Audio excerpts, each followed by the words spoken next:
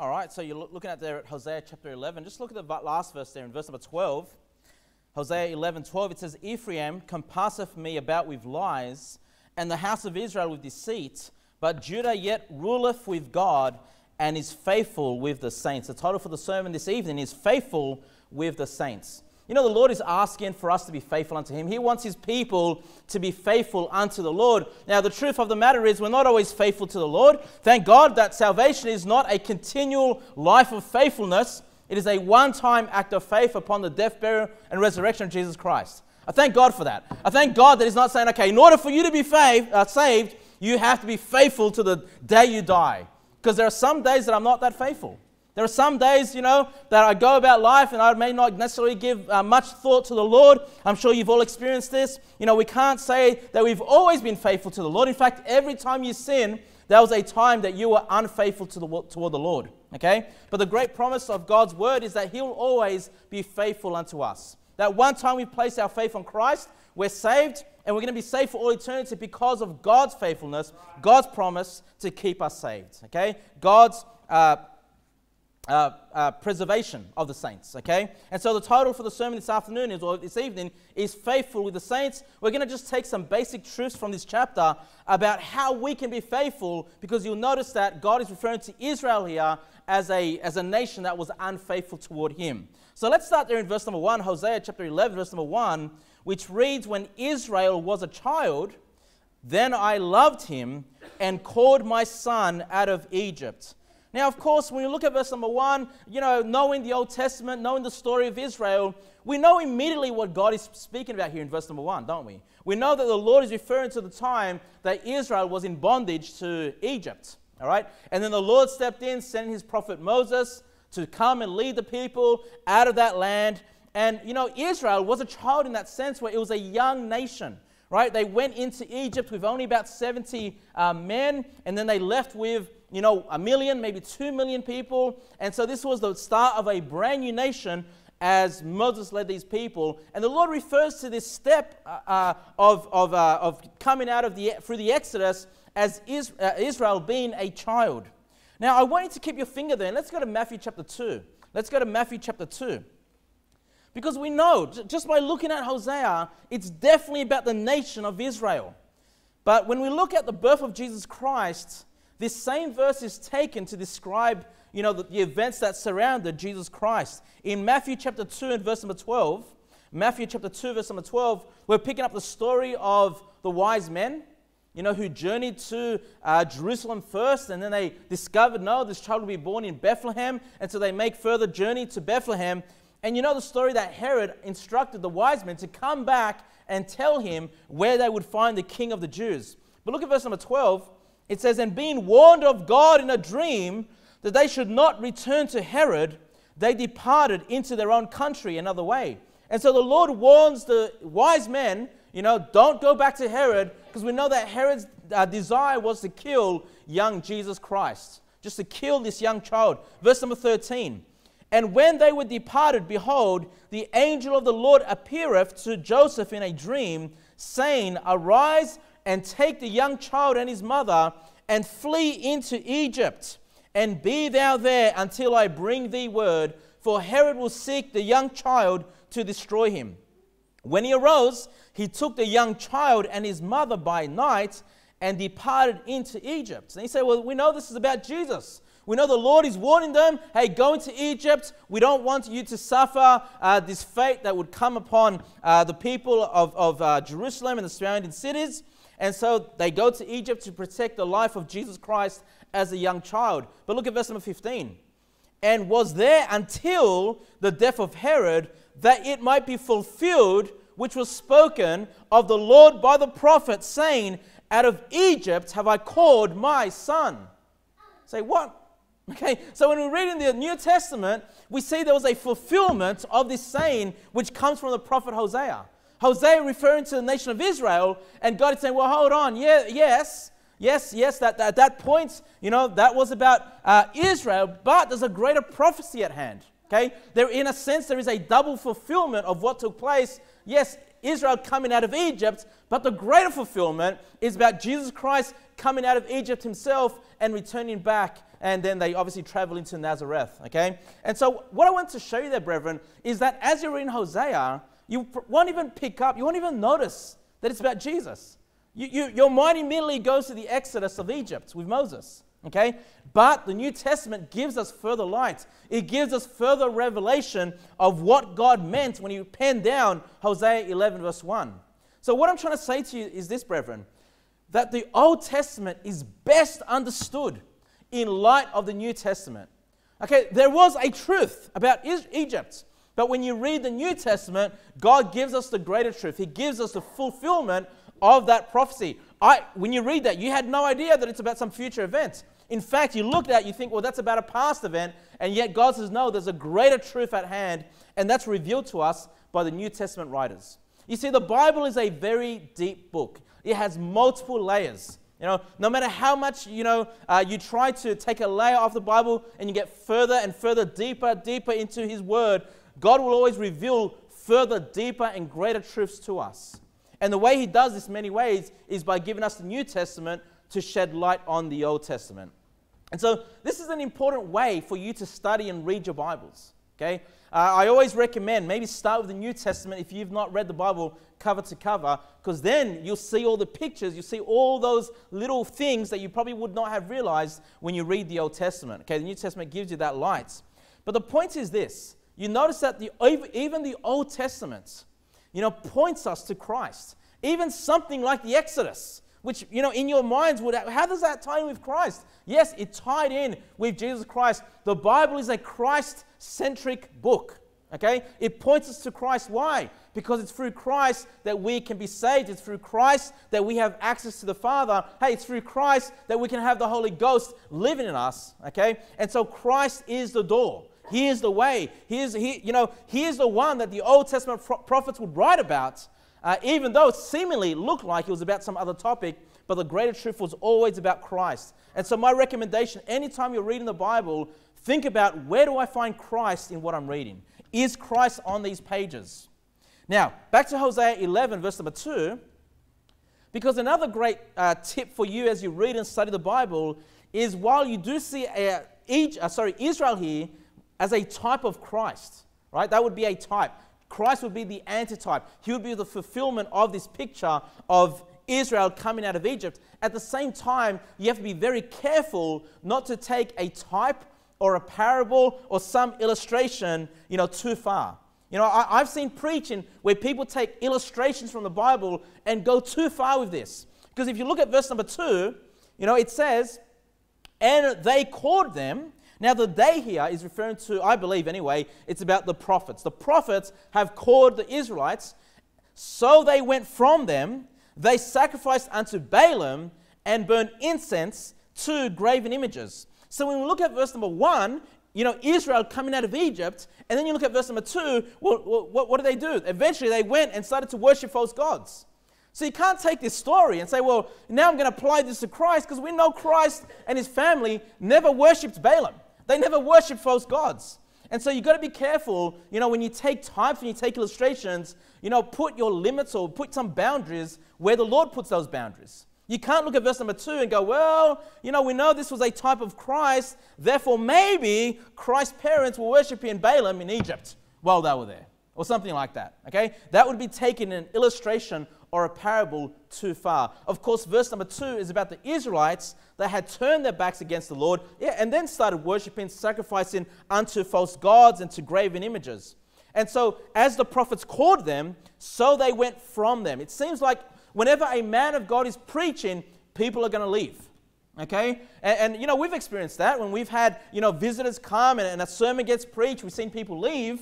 Why? Because a prophet of God was preaching the truth, and so just some people can't handle the truth. Okay? But the, the word of God is the truth. Okay? It's always the truth. But I'm just trying to warn you be careful about the illustrations you read about and, and apply it. You know, are they always about Christ? Or is it just one part, one segment that is referring to Christ or some other spiritual truth? Now, if you can please turn to Numbers 21, and keep your finger there again in Hosea 11. Let's go to Numbers 21 because I want to show you how an illustration can be taken too far. Numbers 21, verse number 6. and we're going to the famous story of the serpents that bit the Israelites, right? They had uh, done wickedly to the Lord, and then the Lord judges them by sending these serpents, uh, and they're biting the people. People are dying from the bites of these serpents. Verse number six. And the Lord sent fiery serpents among the people, and they bit the people, and much people of Israel died. Therefore the people came to Moses and said, We have sinned, for we have spoken against the Lord and against thee. Pray unto the Lord that he take away the serpents from us. And Moses prayed for the people. And the Lord said unto Moses, Make thee a fiery serpent and set it upon a pole. And it shall come to pass that every one that is bitten, when he looketh upon it, shall live. And Moses made a serpent of brass and put it upon a pole. And it came to pass that if a serpent had bitten a man, any man, when he beheld the serpent of brass, he lived. So here we have another type of Christ, another illustration of Christ. The people are being bitten by these serpents, they're dying, uh, you know. Uh, there's, there's, mass death taking place. And so God instructs Moses after he had prayed, you know, create this bronze serpent, this brazen serpent, this fiery serpent uh, on a pole. And if people look upon it, then they're going to be healed from the venom. And we know that this is a picture, even Christ himself in the New Testament points to this as it being about him being lifted up. Okay? And yes, you know, we have that great hymn that says, Look and live, right? My brother, live. Yeah, if we look on Christ, we look upon Christ in faith, we're going to be healed. Hey, not necessarily from snake venom, okay, but we're definitely going to be healed from our sins. And so when we look at that, we say, yeah, well, that's a type of Christ. The serpent being lifted up on the pole, hey, that's a picture of Christ being lifted up on the cross. You say, well, you know, it, it, was serpents that had caused the damage, the pain, the venom, the death, and, and a serpent was being lifted up there. And so you can draw some further illustrations or further truths from that and say, well, you know, it's sin that kills us spiritually, it's sin that uh, makes us deserving of hell. And so we know that the Bible tells us that Christ became sin for us and so the same picture that causes us death is what was uh, crucified on that cross, with Christ becoming the curse for us, becoming the sin for us. So you can see those truths develop, but then you can take an illustration too far and say, like the Jehovah Witnesses, you know, the Jehovah Witnesses don't believe Jesus died on a cross. They believe he died on a stake. Okay, not, not this way, but his hands up this way, if you've seen the pictures of that. And where do you think they get that idea from? Well, they're looking at a parable, uh, sorry, an illustration like this the serpent on a pole and say, well, look, there's a pole. It's not a serpent on a cross. Now, look, it could have been a cross. We don't know. Okay, we don't know. But hey, when we, what we see there, it was a pole. Okay, they say, well, you know, that proves that Jesus did not die on a cross. He died on a pole. He died on a stake. And that, of course, would be taken an illustration, uh, a parable, a type too far. Okay, you're, you're, you're reading too much into uh, the Word of God than, than what there is. So we also have to be careful about how far we go with the illustrations that we see in the Bible. Another one that we can think about, if you can please turn to Luke 15, turn to Luke 15, verse 11. Luke 15, verse 11.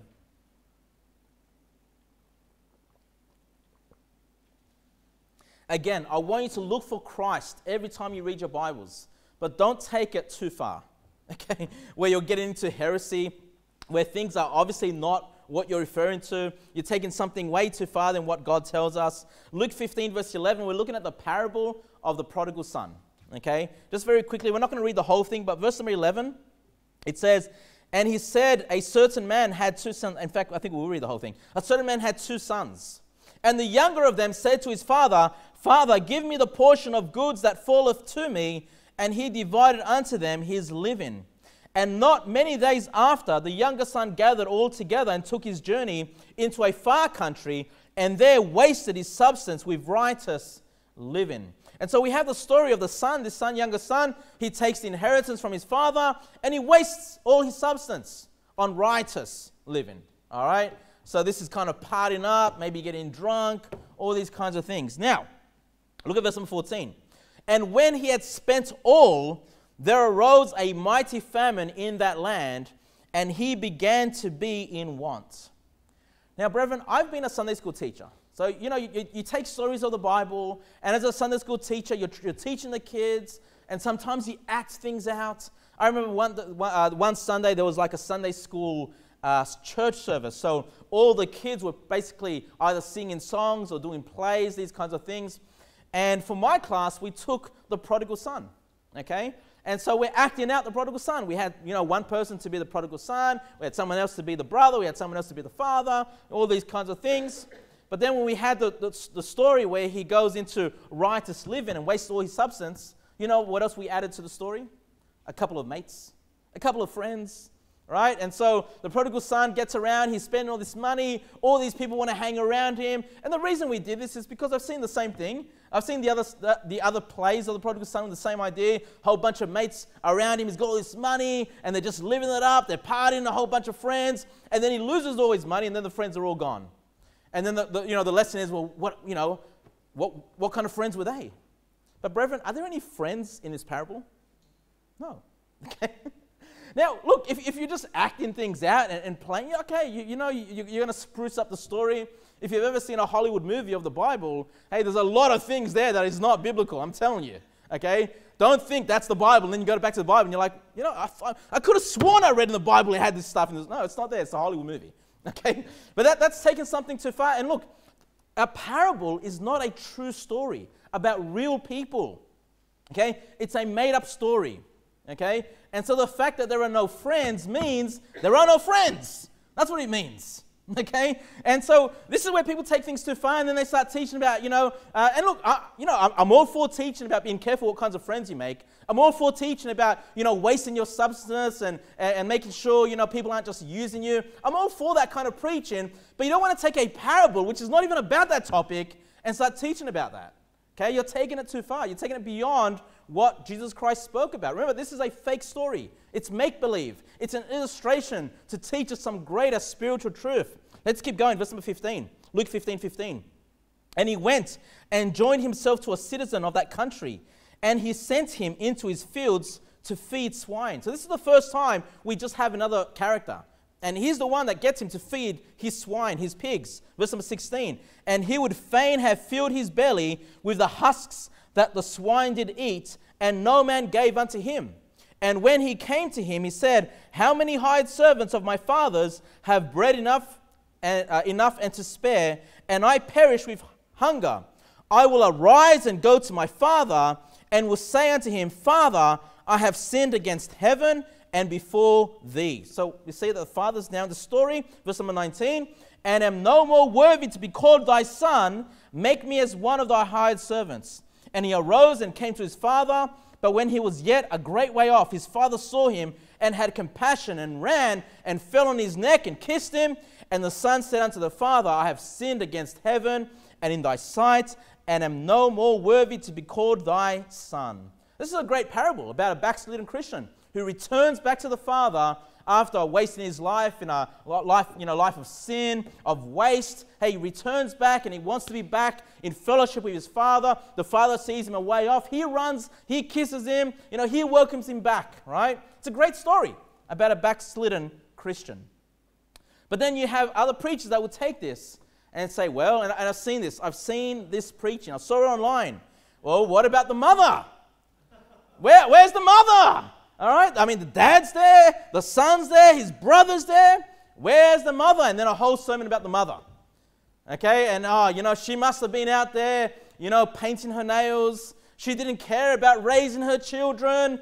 Right? She, she was a bad wife. And then you start preaching about uh, women and women issues. Where is the mother? There is no mother. It's a story, it's make believe. The only characters in the story are the ones that are in it. You don't just start making up. What about the uncle?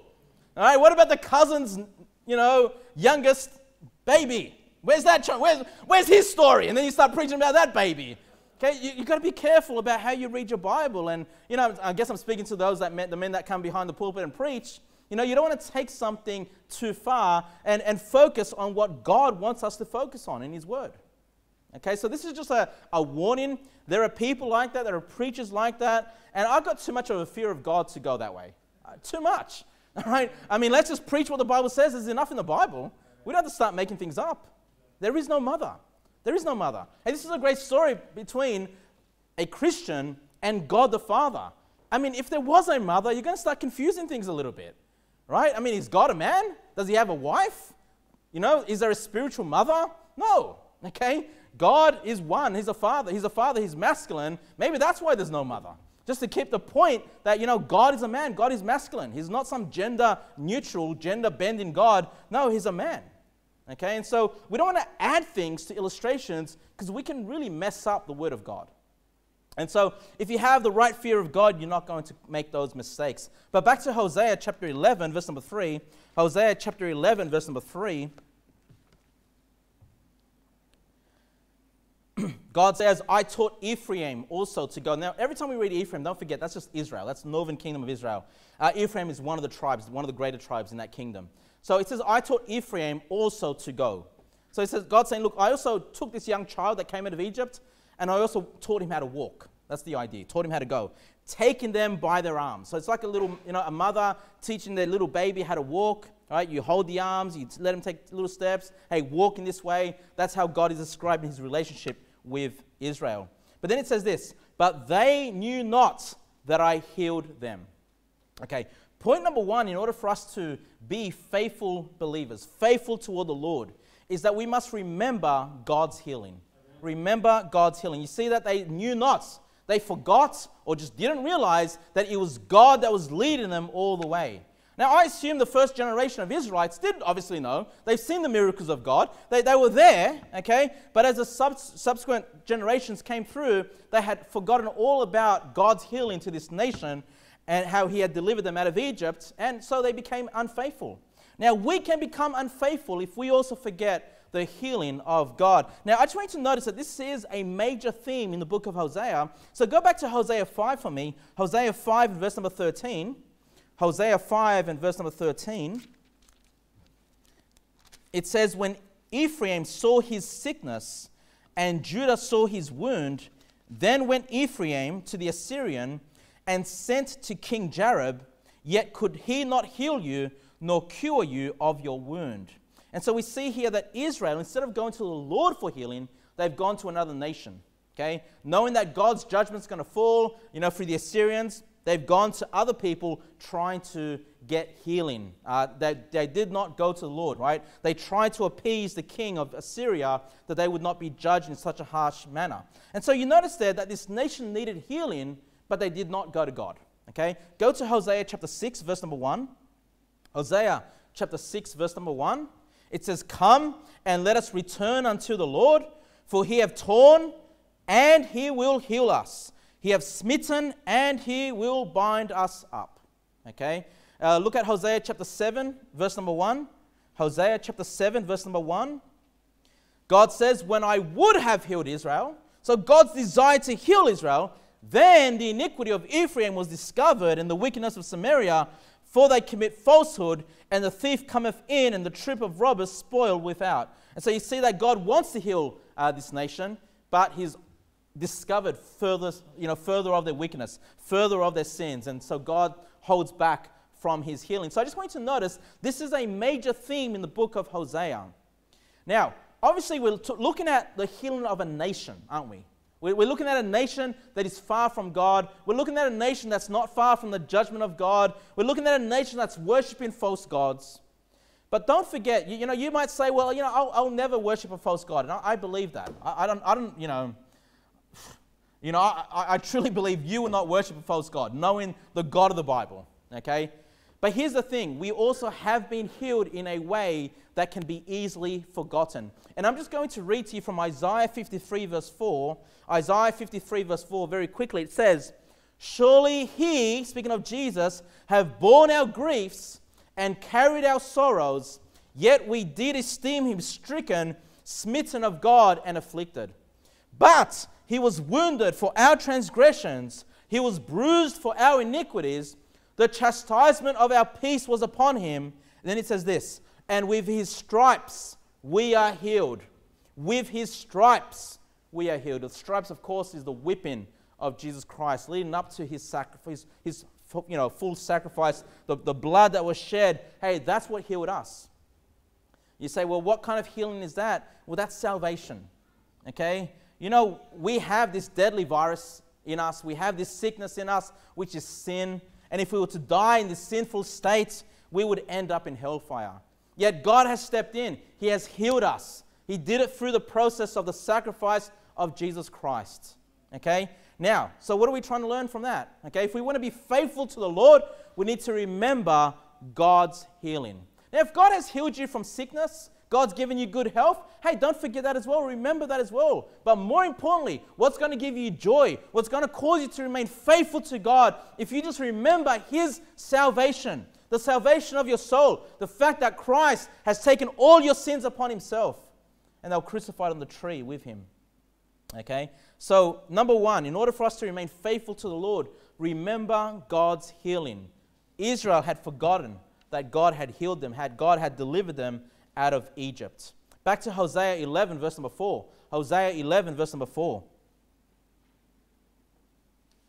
God says, I drew them with cords of a man, with bands of love.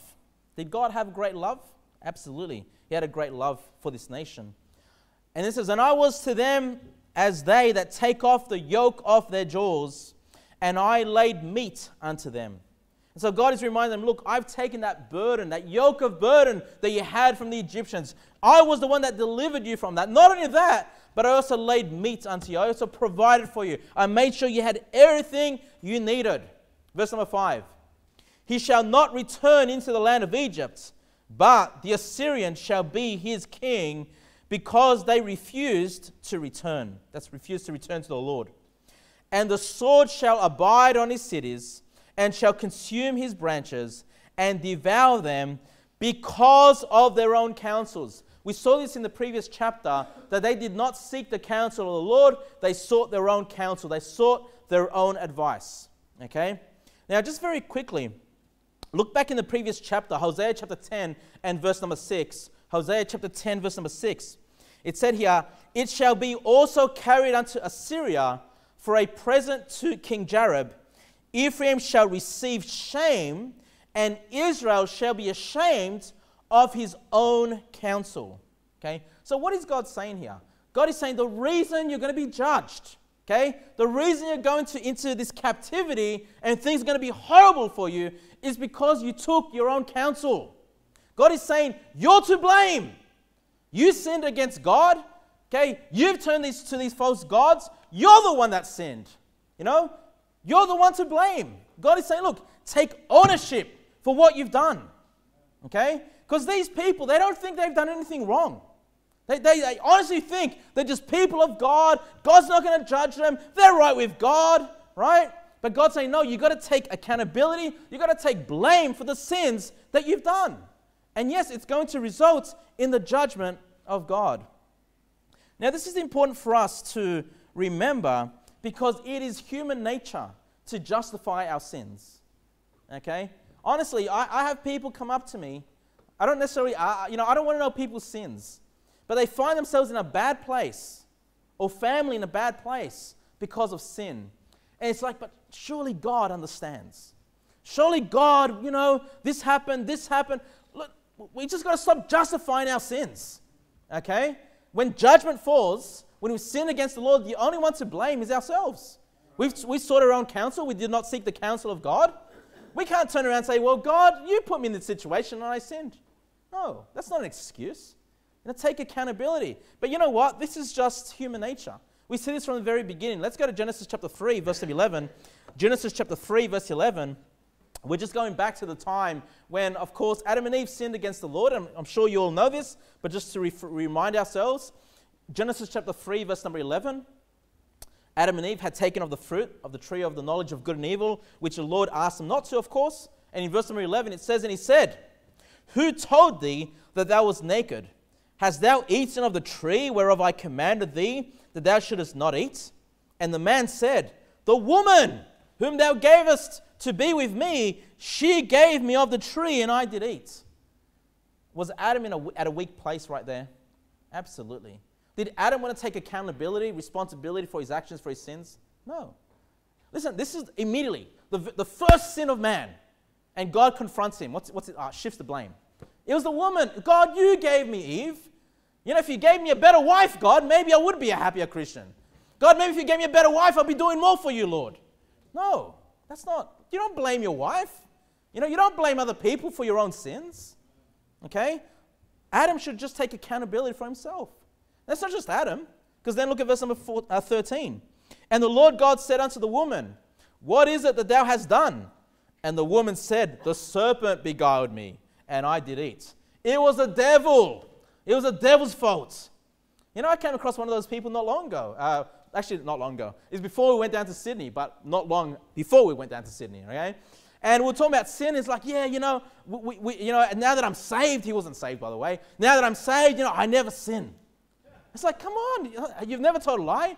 Oh, you've never done this, you've never done that. I said, yeah, I, I have, but that was the devil. No. What are you? Are you like Eve? Have you not, have you not read Genesis chapter 3 and learned from this already? I mean, it's just three chapters into your Bible. You can't just turn around and blame the devil. Now, the, did the devil have a part in the sin of Eve and Adam? Absolutely, right? He's the tempter. He came tempting them. But listen, they also had the word of God. So they made a decision. Do I listen to God or do I listen to the devil? All right? Adam blames his wife. Wife blames the devil. Okay? They're both in the wrong. But you see, we have this in the Bible to show us our human nature. Okay? When we sin, you're going to try to justify yourself. You know, or, or when things fall apart around you in life as consequences of your sin, you're going to say, well, you know, I had no other choice. You know, this is how it's got to be. You know, God understands my situation. You know, I had to get divorced and remarried five times. God understands. No, it's wrong. Okay? Just take accountability. Just own up to it. Just be a, be a man, be a woman. Okay? Stop blaming the devil about everything and just take responsibility. Look, if Israel had just done this, you know, and said, look, we, yeah, we listened to our own counsel, God. Yeah, Hosea, you're right. We messed up. Okay, we're at fault. What do we do now? I'm sure God would have been merciful. We know He's a merciful, long suffering God. He does it over and over and over again in this nation. But they're a stiff necked people. Okay, and they sought to blame others or blame God or blame the devil. You know, no, when you sin, it comes from your own heart. Your own heart, the lust of your own heart. Okay? But this is why we have a Savior. That's why we have Jesus. This is why we have God, that we can turn to Him every time we have sinned against Him. Okay? Because as I said, we want to be faithful Christians.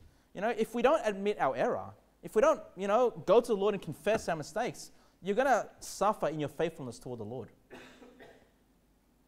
Can we go back to Hosea chapter 11, verse number 7? Hosea chapter 11, verse number 7. It says, And my people are bent to backsliding from me. So I could have said point number two is don't backslide. But I think there's a greater point to this because if you keep reading, it says, though they called them, so the day here, I believe, again, is the prophets. The prophets are calling them to the Most High, none at all would exalt him. So the prophets come on the scene. Hey, Israel, let's go back to the Lord. Let's exalt the Most High. Okay? But none at all would exalt him. Point number two in order for us to remain faithful unto the Lord, we need to learn how to exalt the Most High. Exalt the Most High. Okay? So when we come to church and we sing our songs of praises, we're doing it to exalt the Lord, to lift up His name, to praise Him. Hey, if we get into that habit, brethren, and we sing with our hearts and we sing with our mouths, we're going to be faithful unto the Lord. Okay? We're not going to backslide as long as we keep exalting the Lord. Every time you're blessed, Every time you get a paycheck, every time something good happens to you, you ought to say, Praise God. You get a soul saved, praise God. You exalt the Lord. You get into that habit, you make that part of your life, you exalt the Lord. Hey, even when things are bad, you know what you do? You exalt the Lord. Even when you're facing God's chastisement, you know what you do? Thank you, Lord, for your chastisement. You thank the Lord, you praise the Lord, you exalt the Lord. You know, let's not be timid of the Pentecostals you know, who have their arms up high. And look, I know a lot of that is vain. In fact, I'd probably say all of it's vain. okay? I, I know, okay? But, we, you know, we should not be believers, Christians, that look at uh, corrupt Christianity, look at some fake spirituality, okay? Some, some vain ways of worship and go, well, you know, we're the Baptists. Okay? I've got to make sure my hands are like this and I praise God like this. No, no, let's exalt the Lord, okay? He's our Savior, He's the Most High. There's nothing higher than the Lord. Okay? And so we're commanded to praise Him. You get into that habit, brethren, not just at church, at home. Wake up in the morning, praise the Lord, open His Word, thank Him for a new day. You know, that's going to go a long way to you remaining faithful unto the Lord. Verse number 8, please. Verse number 8. God says to Israel or to Ephraim here, How shall I give thee up, Ephraim? So is God going to give them up? Yep. And God's saying, is, How should I, should I really do this, Ephraim? Should you be the one that I give up on? How shall I deliver thee? You want me to deliver you from the Assyrians? Israel, how shall I make thee as Admah? How shall I set thee as Zebo- Zeboim? Mine heart is turned within me, my repentance are kindled together. What is God speaking about here? Does anyone know what Admah or Zeboim is? Those two cities? Anyone know? You probably do know, but probably can't remember right now. That's all right. I thought it was quite interesting that God will use the language about giving them up. Because when we talk about giving people up, what are we talking about? Reprobates, yeah? And I'm just going to read to you. Can, if you can turn to Deuteronomy chapter 29. Go to Deuteronomy chapter 29. Deuteronomy chapter 29. We do know that those that are being given up by God are reprobates. And as you're turning to Deuteronomy chapter 29, I'm going to read to you from Romans 1, verse 24, which says, Wherefore God also gave them up to uncleanness through the lust of their own hearts, to dishonor their own bodies between themselves, who changed the truth of God into a lie and worshipped and served the creature more than the Creator, who is blessed forever. Amen. For this cause God gave them up unto vile affections for even their women did change the natural use into that which is against nature. And likewise also the men, leaving the natural use of the woman, burned in their lust one toward another, men with men working that which is unseemly, and receiving in themselves that recompense of their error, which was meat. So when we look at these that God is given up on, these are reprobate people. And God has given them up. Hey, if you want to pursue those vile affections, you go ahead and do that. What's vile? Homosexuality, okay? The gays, the lesbians, the sodomites, they're vile. They've been given up by God. And God is using the same language about Israel. He says, How shall I give them? You shouldn't be the people that I give up on. Okay? And then he compares them to Admah and Zeboim. Because look at Deuteronomy chapter 29, verse number 21. Deuteronomy chapter 29, verse 21, it reads, and the Lord shall separate him unto evil out of all the tribes of Israel, according to all the curses of the covenant that are written in this book of the law, so that the generation to come of your children that shall rise up after you, and the stranger that shall come from a far land shall say, when they see the plagues of the land and the sicknesses which the Lord have laid upon it, look at verse number 23, that the whole land thereof is brimstone and salt and burning. So we know this is going to talk about Sodom and Gomorrah. Look at this. That is not sown, nor, nor beareth, nor any grass groweth therein, like the overthrow of Sodom and Gomorrah. There it is, look now, Admah and Zeboim, which the Lord overthrew in his anger and in his wrath. So when we read the book of Genesis, we often see, you know, we often talk about Sodom and Gomorrah. Those are the two main cities that God destroyed. Okay? But they weren't the only cities that God destroyed because of this wickedness. Also, Admah and Zeboim. Okay? At the same time that God's anger and his wrath, the, the, the fire and the brimstone fell upon Sodom and Gomorrah, so also Admah and Zeboim, because they were also participating in those sins. There were other cities in the local area that were doing the same wicked, sinful things. God destroys all those cities. And now God is saying to Israel, You're just like them. You're just like them. Why are you just like them? You know, why do I have to give up on you the same way I had to give up on them?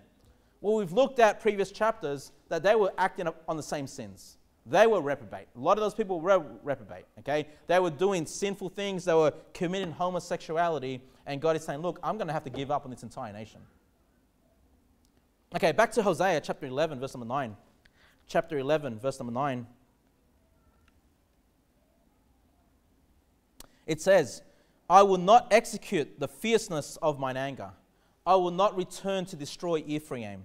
For I am God and not man, the Holy One in the midst of thee, and I will not enter into the city.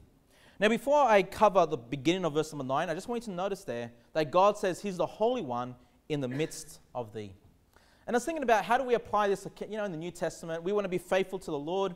And the first thing that came to my mind, of course, is the words of Jesus Christ in Matthew 18, verse 30, again, in the context of church, where it says, For where two or three are gathered together in my name, there am I in the midst of them.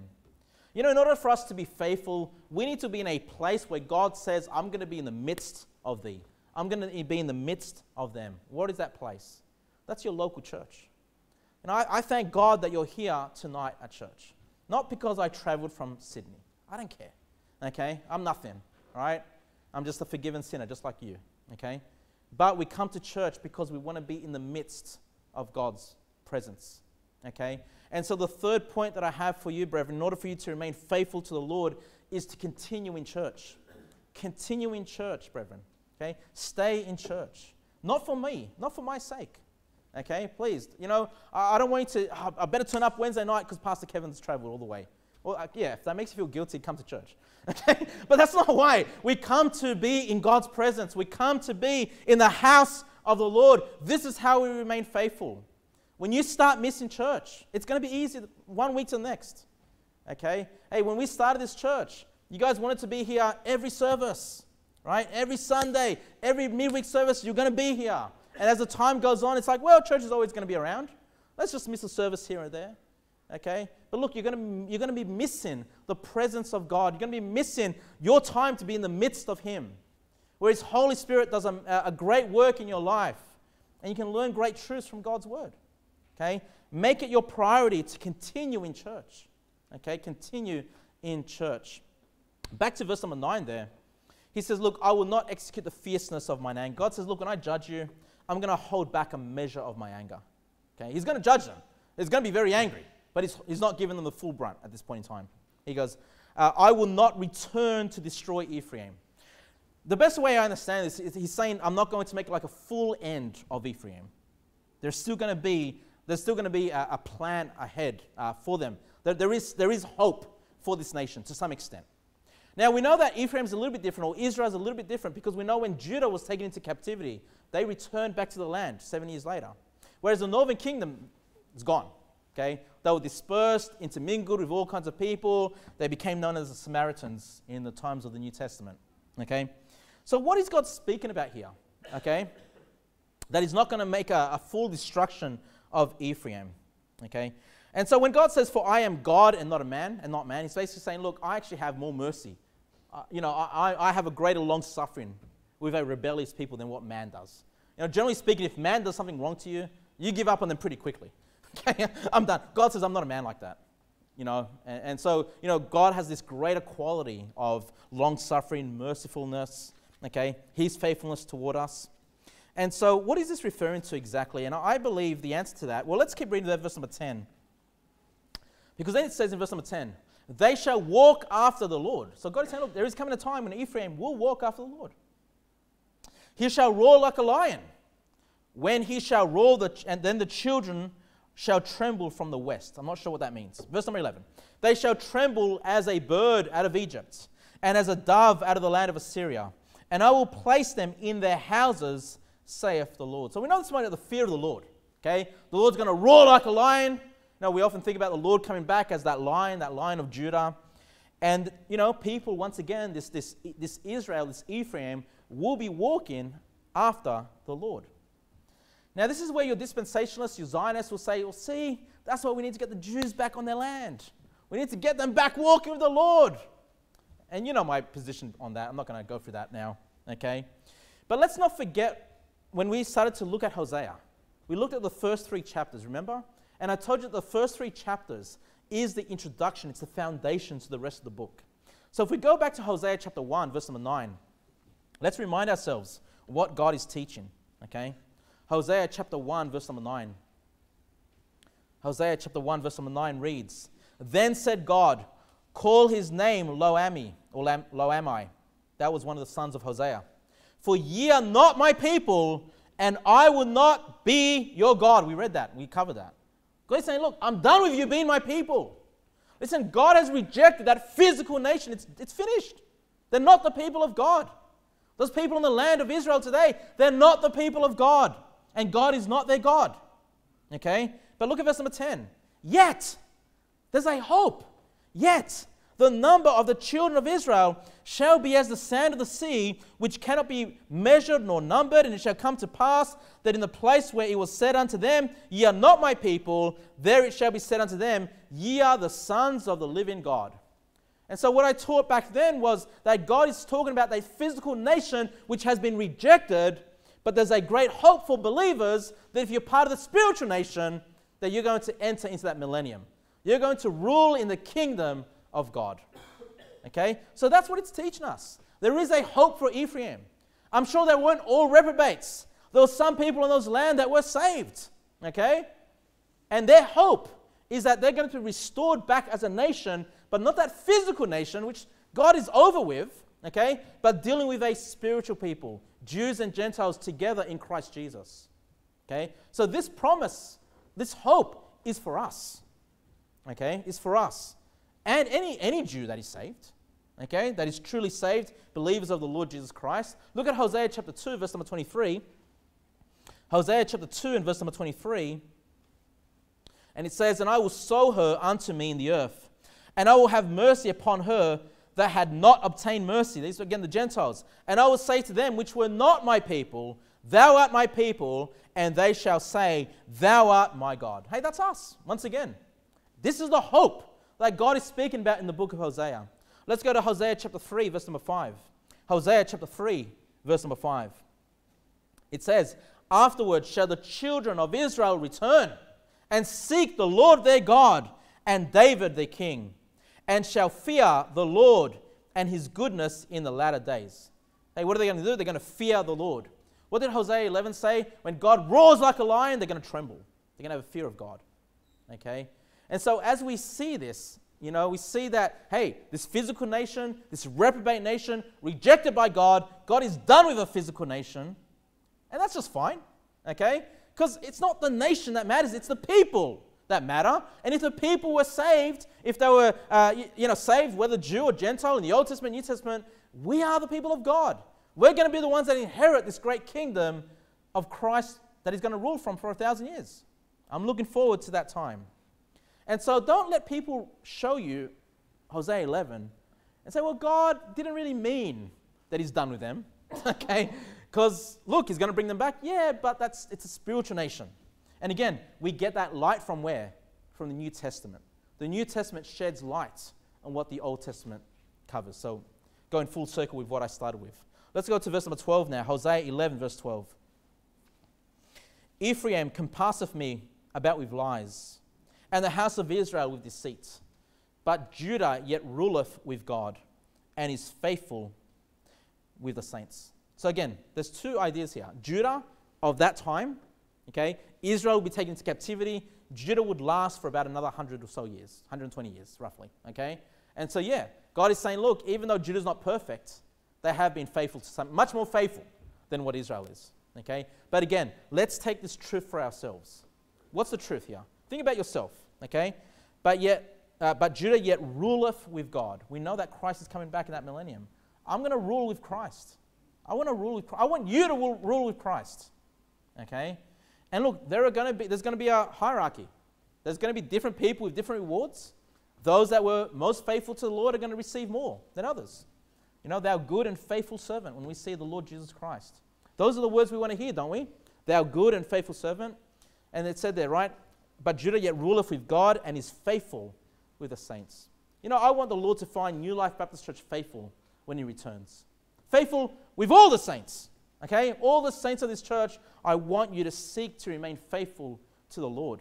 I want you to be rewarded handsomely. You know, I want those beautiful words to come out of the mouth of Jesus, thou good and faithful servant. And so, in conclusion, brethren, let me just give you those three main points that I looked at in this chapter. Number one, in order for you to remain faithful, remember God's healing, remember His salvation. Number two, exalt the Most High. And number three, continue in church. Let's pray. Heavenly Father, Lord, we want to thank you for your word.